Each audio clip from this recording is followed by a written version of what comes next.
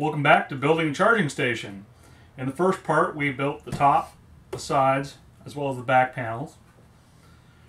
In the second part we'll build the lid, front panel, and install the bottom, as well as assemble the whole thing and slap on a finish.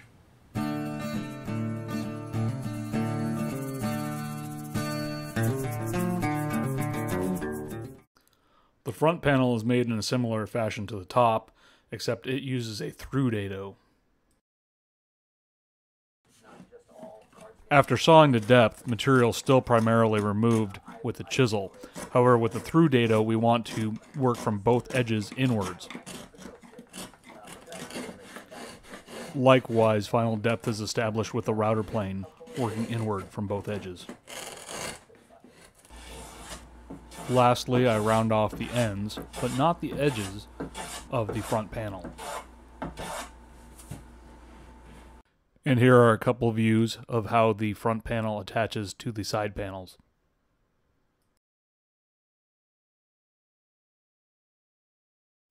The bottom panel is a simple rectangle inset into each of the adjoining pieces. For the bottom I use some 3 8 plywood just because it's going to need to hold a little bit of weight. And one trick for any time I'm putting an insert in, be it a drawer bottom or cabinet panel, because I like to round off the corners a little bit. Because the dado goes cross grain on our side panels, we need to extend the nickers on our combination plane. May have to go a little extra deep to overcome the how much those nickers are sticking down.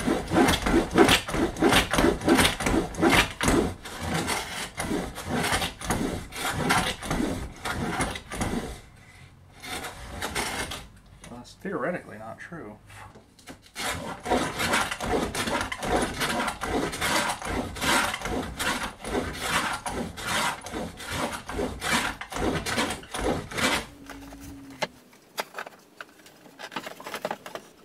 Before laying out the lid, I dry fit all the pieces.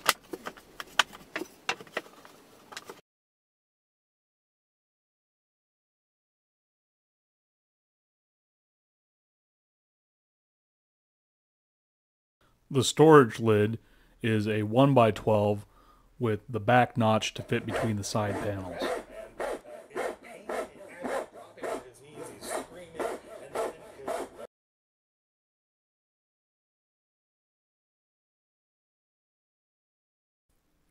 That's a nice tight fit there.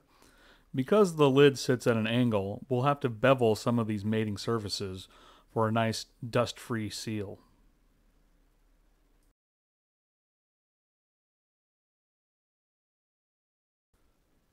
I use my bevel gauge to transfer this angle from the side panel.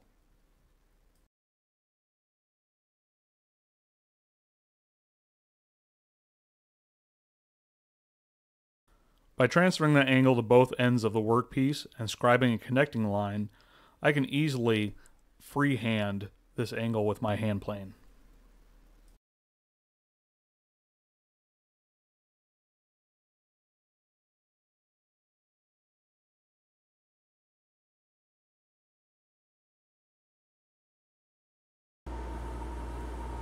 Next I need to add a lip to hold cell phones and tablets on here while they charge.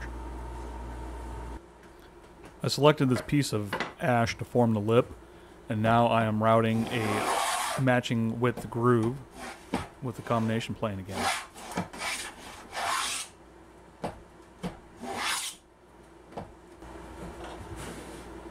If you don't have the exact right width of cutter for your combination plane, a side rabbet plane does a great job of fine tuning the groove.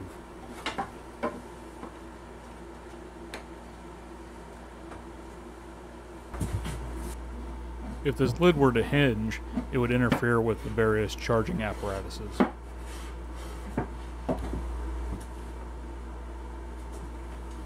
So instead, I'm simply adding this little stop that will hold everything in place.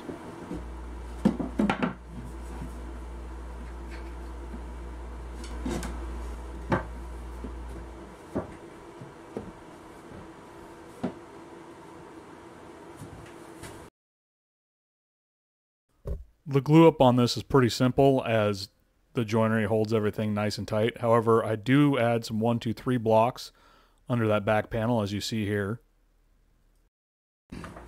And I also gently place a clamp here to stop things from bowing. For shop fixtures like this, I just like to put a few coats of boiled linseed oil to help protect from moisture. The final step is to populate it with all of our chargers, and I'll probably slap a French cleat on the back of it to hang it on my wall. Thanks for watching, and I hope you found this build helpful.